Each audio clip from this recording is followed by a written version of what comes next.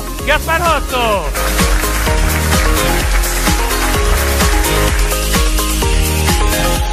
voi siete davanti alla vostra impresa, voi siete il numero uno della vostra impresa, voi dovete star bene, voi dovete essere in forma, voi dovete avere energia, se no non andate da nessuna parte. Il problema non è come sempre la paura, il problema è la mancanza di coraggio. Anche il più grande eroe ha paura però il grande eroe è tale perché ha coraggio e affronta la paura. No? La paura eh, non è il problema, è la mancanza di coraggio il problema. Gianluca, lo stimolo! Lui prima parlava benissimo di Instagram, di Facebook, dell'importanza che hanno al giorno d'oggi, indubbia, indubbia, cioè non, non ci piove a riguardo. Tantissime persone che fanno? Non hanno capito che cosa comunicare di se stessi e iniziano a usarli. Va bene, meglio che niente, ma se comunicate con esattezza attraverso quei canali una caratteristica precisa che volete presidiare, è tutt'altra cosa. Diego, pronto? Facendo due conticini così, l'anno abbiamo circa 13,4 miliardi di euro da poter, da poter spendere. Questa... Quando, quando, dicevo che i soldi ci sono, I soldi, ragazzi, è pieno. È pieno. I soldi è pieno. Dove eri cinque anni fa?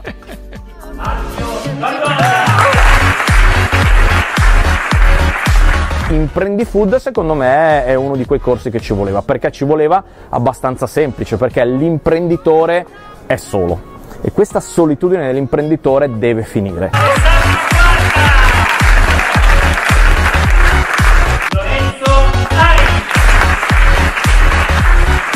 La domanda più gettonata è stata come può un business nella ristorazione essere liquido? Beh, in realtà la risposta è molto semplice. La nostra società è già liquida, tu non hai scelto di passare da un telefono cellulare ad uno smartphone e allo stesso modo tu non sceglierai di trasformare il tuo ristorante in un ristorante liquido, la tua attività nel food in un'attività liquida. Succederà. Se c'è qualcuno in, questo, in questa sala che che, che, ha paura di non riuscire perché sono tanti anni che ci sta provando, guardate sto stupido che avete di fronte perché. Ho spiegato quello che è l'importanza dell'online marketing applicato ovviamente alla ristorazione e quindi io voglio ringraziare sicuramente Stefano per avermi invitato, ma soprattutto voglio ringraziarlo anche a nome di tutti i ristoratori per aver creato questo percorso.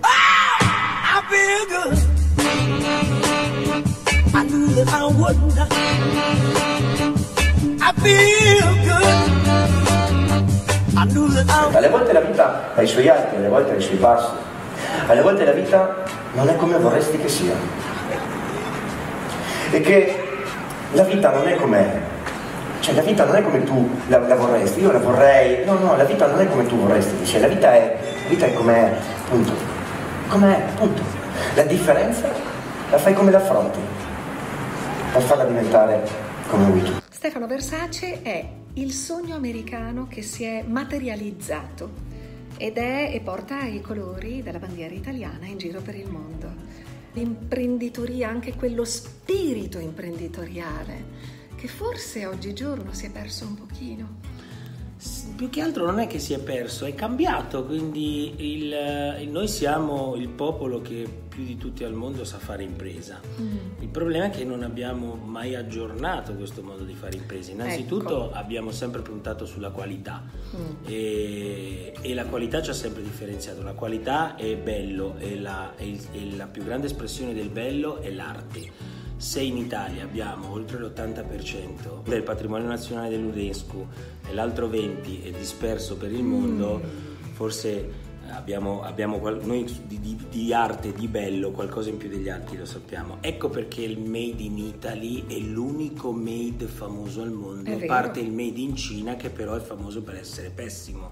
Quindi non esiste il Made in USA, che è la, storia, la, la nazione più potente del mondo, non, non vuol dire nulla. Mm-hmm. Made in Great Britain non vuol dire nulla. Made in Italy sì. Per quei pochissimi che ancora non lo sapessero, Stefano Versace è partito cinque anni fa? Cinque, anni, anni fa precisi, tra, tra, poco sono cinque Il anni. Il 16 precisi, novembre 16. sono cinque anni che la tua prima gelateria è stata aperta. Ha venduto il primo cono alla nocciola. All'International Mall di Miami hai avuto il coraggio che in pochi hanno e tuttavia si può trovare.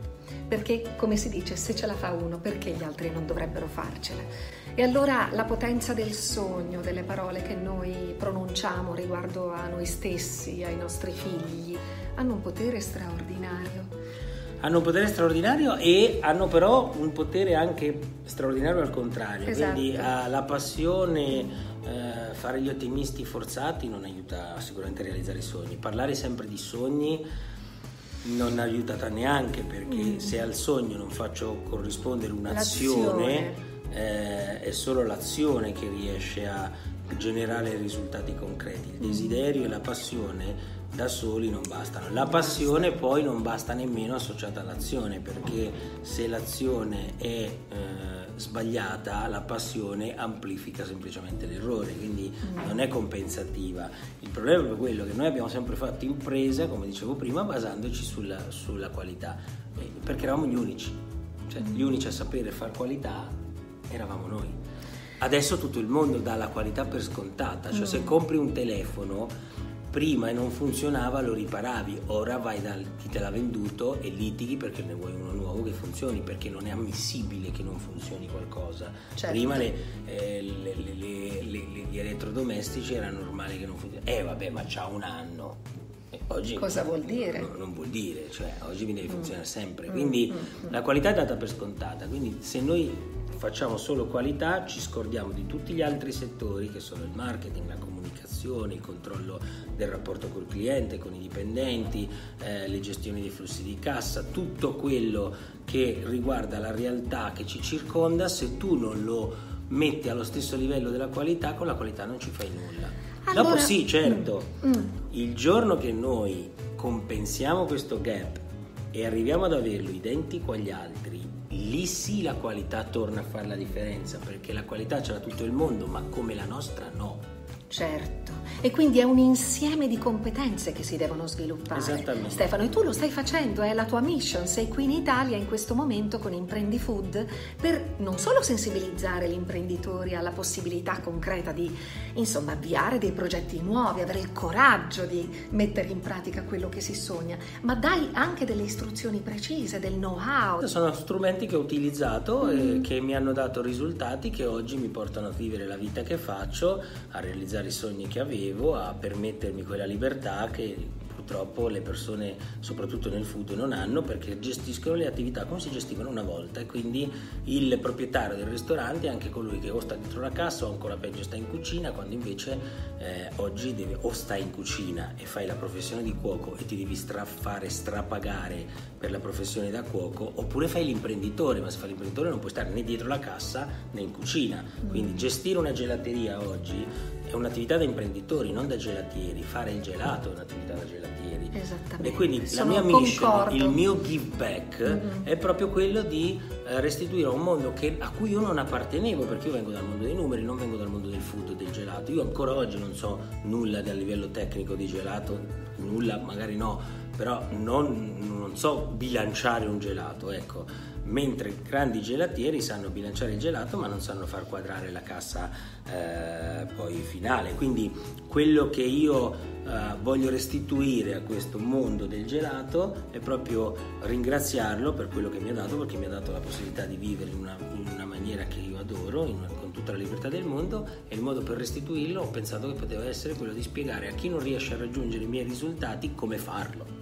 Per acquisire il know-how necessario, gli step nell'ordine, quali potrebbero essere? È Stefano? la formazione alla base di tutto. La perché se non si formazione. forma una persona non ha le competenze. Oggi c'era una persona che mi ha detto, sai, sto, ho comprato una pasticceria, tra due settimane è mia, eh, ho 22.000 euro in banca, eh, il corso di perfezionamento, la masterclass con Stefano Versace costa 5.000 euro, eh, rimango con 17. E io gli ho detto scusa, la stai vedendo dal punto sbagliato, cioè tu hai comprato una macchina e non hai la patente.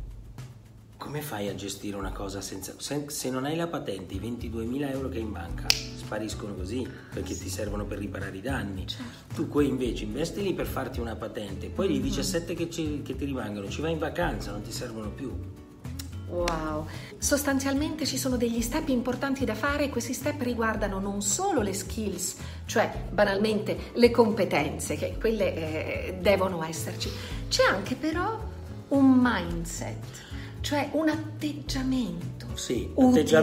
l'atteggiamento, utile è innanzitutto quello di, di fare gli imprenditori veri e oggi un Mm. imprenditore è una, è una persona, soprattutto in Italia dove c'è un terrore del fallimento, è una persona che eh, ogni volta che fallisce non perde l'entusiasmo di fare l'imprenditore, quindi è un bambino che cade correndo, che si rialza e ricomincia a correre invece di mettersi a piangere, quello è l'imprenditore. Se già noi non abbiamo paura del fallimento, questo non significa che dobbiamo fallire come dei, dei tonti, eh, ma che davanti al fallimento apprendiamo la lezione e con lo stesso entusiasmo ci rialziamo e ricominciamo, allora in quel momento noi abbiamo eliminato il 50% dei rischi che ci fanno poi evitare di prendere quelle decisioni che danno quei risultati che siamo- abbiamo sempre sperato. Io lo dico sempre, se vogliamo tenere nel food per esempio, perché questo è il mio settore, ho gelaterie, pizzerie, produzione di mozzarella, eccetera, eccetera, se eh, vogliamo ottenere quei risultati che non abbiamo mai ottenuti, dobbiamo cominciare a essere quegli imprenditori che non siamo mai stati, perché dobbiamo assumerci le nostre responsabilità. Mm. Diamo sempre la colpa alle tasse, al governo, alla crisi, alla mancanza di turisti, alla mancanza di studenti se siete in una città universitaria, lo dico perché avevo un ristorante urbino, ma poi alla fine quello di cui avete bisogno è semplicemente cambiare voi stessi e cominciare a responsabilizzarvi e dire no, aspetta, se le cose non funzionano la responsabilità è la mia, perché è vero che ci sono le tasse, è vero che il governo è sempre quello, è vero che c'è la crisi, è vero che ci sono meno turisti, però il ristorante a fianco al mio funziona. Stefano, io vorrei farti dire qualcosa della tua vita prima, perché il prima e il dopo secondo me ha una potenza incredibile e soprattutto ti rende facilmente, eh, come posso dire, vicino a chi ci sta guardando in questo momento. Io so che tu, prima di arrivare al top, hai fatto una strada mica da ridere, cioè è stato ho, anche... fatto- ho avuto alti e bassi nella vita, ma io ho fatto un esempio oggi al corso, ho preso una- una- un pennarello rosso e ho disegnato la linea di come la gente si immagina la vita, no? Quindi nasco, poi eh, mi cresco, mi laureo, mi sposo, inizio a lavorare, arriva la pensione se arriva, eh, muoio eh, e la cosa finisce, pum, no? Ah, che è una linea retta. E poi invece ho Certo. fatto la vita come realmente è, quindi nasco, cresco, imparo, piglio la prima legnata, mi innamoro della prima fidanzata, la, la perdo e vado in depressione, poi trovo quella giusta, mi sposo, faccio il lavoro, sbaglio, va male, va bene, va bene, va bene, fino a quando muoio, ok? La differenza tra le due, la prima linea è di un morto.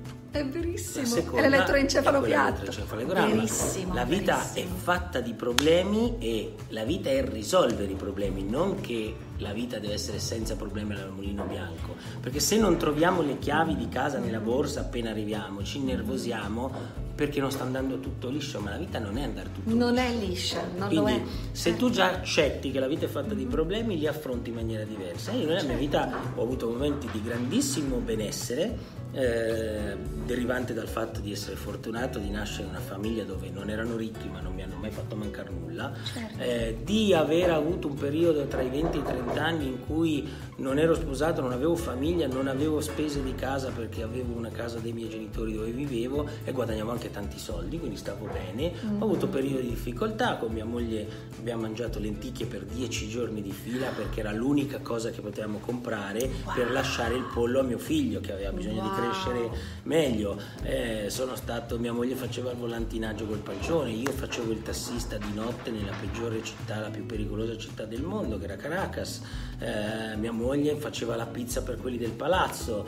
Eh, ah, avevo un ristorante, facevamo le cene a lume di candela. Per risparmiare sulla No, perché me l'avevano proprio tagliata, cioè non avevo elettricità e quindi Non facevo le serate a lume di candela e non ho mai perso l'entusiasmo. C'è da dire che eh, io credo che non è necessario né sposarsi eh, né deve avere una coppia, una Era una domanda che ti avrei fatto, perché No, qualcuno nato- potrebbe dire anche io sono solo, non ho nessuno No, su eh, cui in, con- in teoria, in teoria non c'è bisogno di sposarsi Mm. se- o di vivere con qualcuno o di far società. Se uno lo fa è perché eh, ha bisogno di... eh, se uno lo fa è perché quella, quella unione porta qualcosa in più a- Mm. alla propria vita.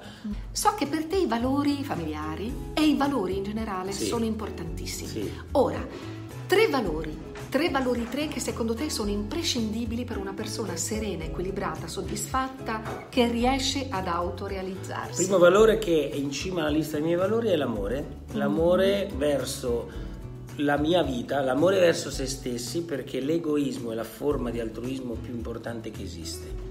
Se non state bene voi non potete aiutare nessuno. Oggi io ho la possibilità, mia moglie aiuta una scuola in Venezuela, lo può fare perché siamo benestanti, se no non lo potrebbe fare. Certo, non puoi dare se non hai, Eh, L'amore verso se stessi per primo, l'amore verso quello che si fa, Mm-hmm. perché bisogna essere felici di fare quello che si fa, bisogna avere passione e amore per quello che si fa, Mm-hmm. l'amore per le persone che abbiamo intorno, che sono non solo il nostro compagno o la nostra compagna, ma sono proprio le persone, Gli i nostri amici, colleghi, gli certo, amici. Quindi l'amore certo. va al primo posto.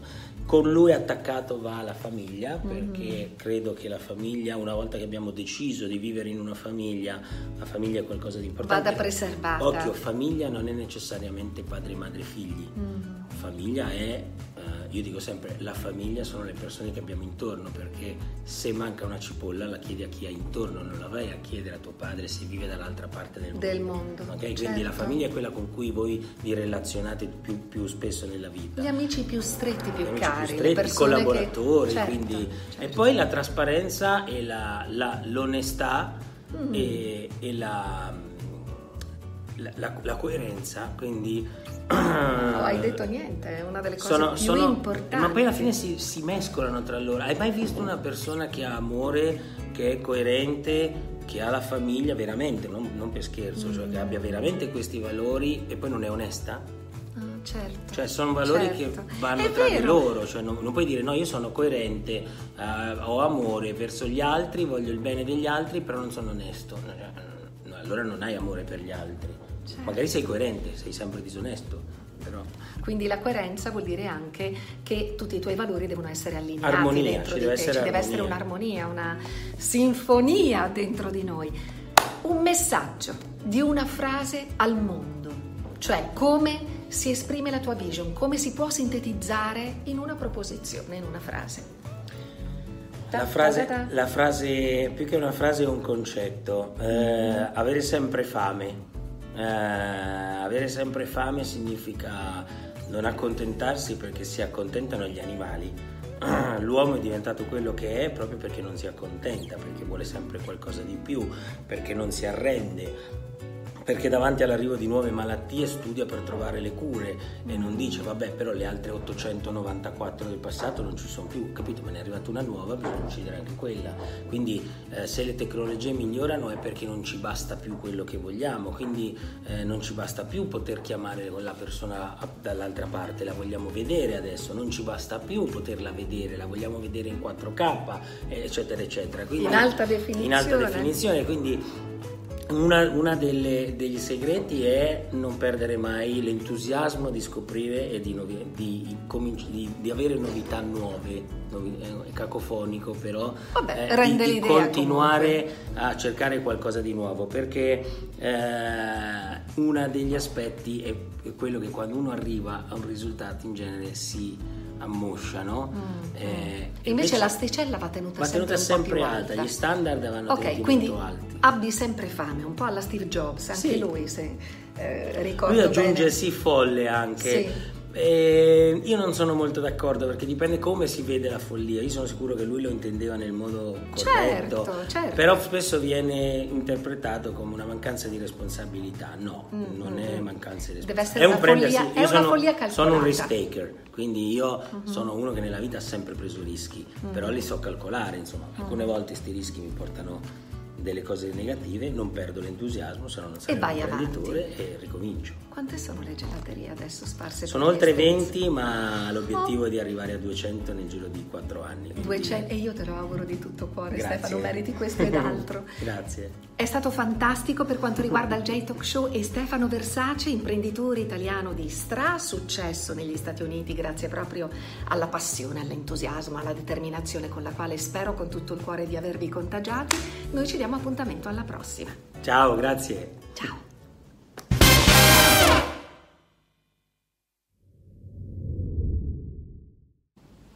Super, Perfetto. super, Super sei tu, grazie super, mille. super. Oltre 300 imprenditori del food hanno appena assistito a Imprendi Food 2018. Se te lo sei perso ho una buona notizia per te. Ho lasciato aperte le iscrizioni per la Stefano Versace Masterclass. Ti aspetto a Bologna il 14, 15 e 16 gennaio.